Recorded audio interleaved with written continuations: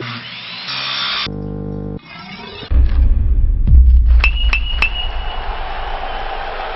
All these lab tests are great for measuring different parts of the bat, but when it comes down to it, there's nothing quite like hitting a bat on a ball at game speeds. Some people don't understand the speed that a ball hits the bat at. In the pros, you regularly get 90 mile an hour fastballs and you get 90 mile an hour swing speeds, so the ball actually meets the bat at 180 miles an hour. We knew we needed the ultimate tool to measure performance, so we built our own ball cannon.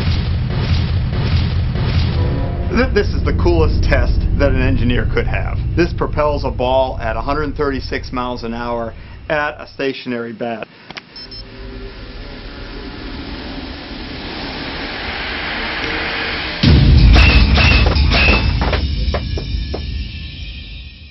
and it does it without spinning the ball. So we can position a ball and put it in this sabot, it gets driven out by air pressure gets stopped in this arrestor plate and the ball shot puts at the bat so that it hits at a place there's no seams. From that information we can calculate how the bat performs. This gives us the ultimate accuracy in performance.